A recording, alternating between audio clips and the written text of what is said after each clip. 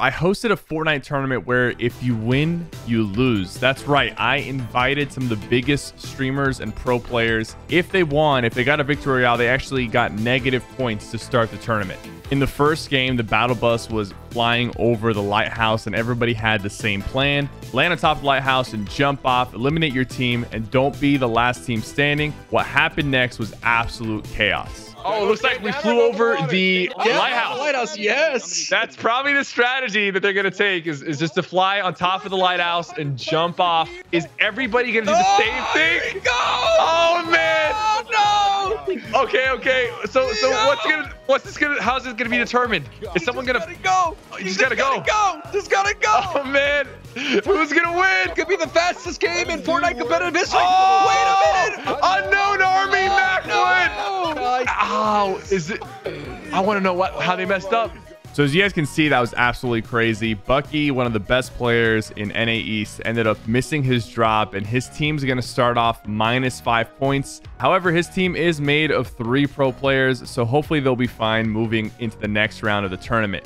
Speaking of the next round, we're going to be doing a bow-only match where you're only allowed to use bows, no weapons. Unlike the LTMs that Epic has done where there's dual wield and dual pistols, this one is just bows. Those are the only weapons you can use. As you can see, some people were even pulling gold shotguns from NPCs and they couldn't use the gold pump. Uh, it got pretty crazy and it got really, really stacked because a lot of people weren't really getting eliminated. Some people even tried to do a sky base. Much respect to them for attempting the sky base. I love this idea but they got shot out and they weren't able to fall into the water. However, their teammates were able to end up reviving them and getting them into the end game.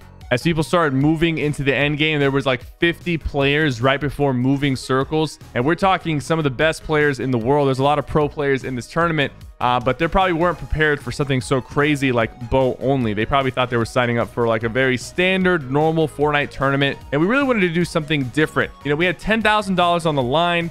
Uh, we wanted to do a unique tournament that everybody would remember. As you can see, people were fighting for high ground at the very end, going for quick bow shots, running low on mats, just trying to get whatever hit they can. It was super crazy. 42 people in moving circles is extremely stacked. And if they couldn't hit a bow shot and they had to pull out a pickaxe, people were starting to pickaxe each other. That is perfectly allowed. So a lot of the top players still make it to the end. You know, even though you have a very unique mode like bows only, the pro players really know how to survive and tunnel through the end game and just stay alive. I thought this was going to come down to like a major heal off, like there was going to be like 10 teams going for a heal off, but people were really playing super aggressive, moving through all the fire and flames and the stinks and just trying to land some clean shots. And uh, at the very end, some teams started playing really, really close together as the storm started closing. You, you saw people started to do some double and triple pickaxe attempts because it was just the better move instead of going for bow plays. Uh, but the team that actually went for the sky base ended up making it to the end. You had you had two pros at the bottom, Commandment and Scented, going for like double and triple pickaxe. But the player on the top actually had more health than them and ended up surviving longer than them through a heal off. So the team that went for the sky base had that good extra karma and ended up winning the bow only round. In this next round, we are not allowing players to jump. Everybody was unbinding their jump key because if you accidentally jumped, you lost points. So you had to play a full pro Fortnite match without the ability to jump. Of course, you still have to jump out of the battle bus. Some people were smart enough to jump out and then unbind it. In this next fight, we see an early game encounter with NickEh30 and his team versus my brothers. My brothers Junior, Otto, and Nizar were fighting NickEh30 off spawn and I thought they were going to get wrecked. Uh, but it actually ended up coming down to a 1v1 situation. And you can just see how awkward this is because playing a game of Fortnite without the ability to jump is so different. Cranking and building is just not the same. Uh, you can see the pressure here, and Nizar's trying to put on the last player, but he is at a big health disadvantage, and he ends up going down. Now, here, the pro players are W keying hard in this match. They're pushing just about everybody. The fact that people can't jump makes it harder for them to get away, and it makes it easier for really good players to box you up because you're not able to jump out of the box as easily. Even though this is not the bow round, Macwood right here, uh, the team that actually started the tournament off with minus five points, ends up getting a really clean headshot snipe from across the map against Headshot Chick. And they already have like seven eliminations right here. Uh, they're going to keep pushing. You know, they have to catch up. They're, they started the tournament with negative five points because they won in the first round. Uh, this is an end game situation without the ability to jump. The really important thing here is to keep moving ahead of the circle because the fact that you can't jump makes it harder to, to elevate yourself and go up surfaces. And there's actually a hill right here that people have to climb up. And they're, as they're building up the hill, people are shooting down at them. And it's becoming even harder to stay on top of the hill because it's so easy just to drop down. So right here, the top team is just shooting down at the bottom teams, kind of forcing them down into the storm. This has always been a thing, but it's even more dangerous now because the lower teams cannot just kind of crank up and do some 90s. Now everybody's just dropping to the bottom, um, and all the fights are kind of going to the low ground. Right here, all its bottom teams are, you know, just shooting back and forth, trying to get some shots off. We're going to see Unknown Army here, one of the best control players in the world, uh, just go on a tear and start knocking people left and right. His team has a total of 15 kills. We see Saf on the high ground, Avery, Bucky, a lot of the pro players, Stretch. They're all making it to the end game because they just know how to adjust and they know how to adapt. And I think some of the best players in the world are all about adapting and adjusting. Saf's team ends up taking first place in this round. And as you can see, quick standings update, Macwood's team is in first place. They've got a comfortable four-point lead. Uh, and this is pretty big considering they started the tournament off with negative five points, but they ended up climbing back up and picking up the pace. So in this next round, we had everybody land Boney Burbs. All the players had to land in Boney. They could not leave even if the storm showed up. We've recorded a lot of videos like this in the past, but doing this with a group of pro players and streamers was absolutely hilarious. The off spawn fights were super intense. People were scrambling for loot. And this first off spawn fight that we see with Unknown Army really, really clutched up. He only has one health. He ends up knocking two players with a blue pump that he 50 50'd for. But Macwood Unknown Army win their early uh, fights. A few of the teams as well. But you can see everybody's kind of in shambles, just running around with like one or two guns, barely any heals, uh, taking some early game fights. But after that, everybody kind of started staying stationary. Now, this is where it started getting dangerous, all right? Macwood, Unknown Army, and Bucky, the star players of this tournament, they had enough loot to start just W keying everybody. And what was supposed to be just nonstop action at Boney Burbs ended up turning into hide and seek, where Bucky, Macwood, and Unknown Army were just running around, finding people hiding and eliminating them. Right here, you can see uh, Ducky the Gamer hiding in a tree. Very 200 IQ play to try to just stay alive, and he ends up staying alive almost towards the end game. And the longer that they were able to run around and just eliminate people left and right.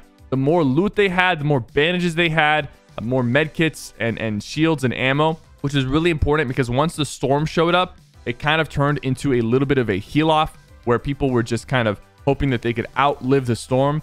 Some players were alive, but you can just see Macwood Unknown Army. They had they had apples, they had three medkits, they had just about everything to work with. Some players thought they could out heal the storm, but they didn't realize that that team was just stealing everybody's heals and loot, and they had way more. And they also ended up winning this round as well. So there was a few more rounds that we ended up doing, but let's just jump into this last round, which was one of the most interesting rounds because we had a big streamer actually crash into this tournament.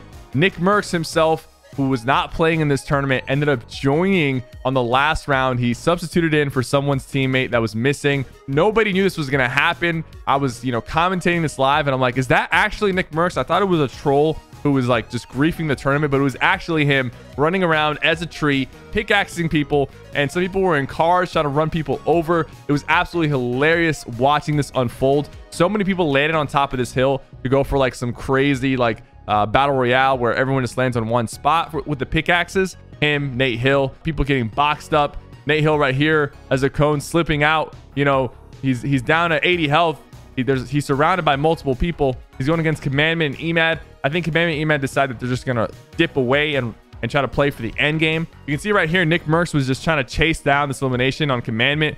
He was not letting loose. Look how focused he is barely see his forehead in the webcam. He ends up grabbing a truck and trying to run them over. Uh, low on fuel, low low on health.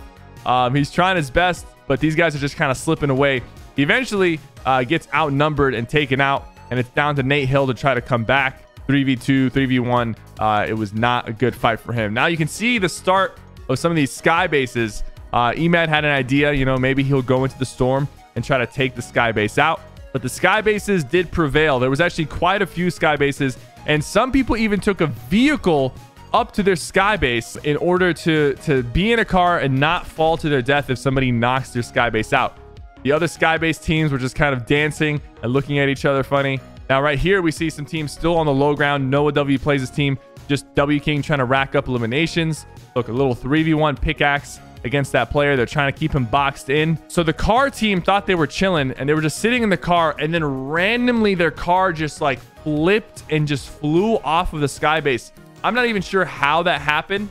And we're trying to run back into the circle. Luckily, we're still in the car, but they did lose one of their players. And that player is just going to end up bleeding out in Storm. This other player was trying to knock people out of their sky base. You can see a build fight going down on the sky base. He just can't, he can't make it happen. It's so hilarious to see these teams trying to stay alive. Uh, there's a war happening on the bottom ground, and there's a war happening on the top. There's people driving around in cars. You see Macwood's team, which are comfortably they're comfortably in first place. Now, Riversan's team actually had a chance of coming back into this round. Noah goes down here with a stack of like full heals, which would have been really, really useful. Uh, trying to lead his teammate to the victory, but at the end of the day, it came down to a bit of a heal off uh, with the high ground versus the low ground. A lot of action went down, Macwood and Unknown Army, they won this round uh, as well. So they won plenty of rounds. All in all, first place took home $6,000, $2,000 each. Second place took $3,000, $1,000 each. And third place took home $1,000. It was a really, really fun tournament. If you want to see another tournament like this in the future, be sure to slap a like so I know you guys are into this kind of stuff. I'll see you guys next time.